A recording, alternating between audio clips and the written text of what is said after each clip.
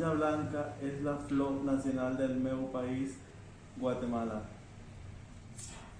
La monja blanca es un poema, un tornasol, un hermosísimo emblema, y por eso mi sagrada Guatemala nadie se le iguala. La monja blanca es una flor salpicada de rocío y de amor, y orgullosa nace, crece y persevera en Guatemala, el país de la eterna primavera.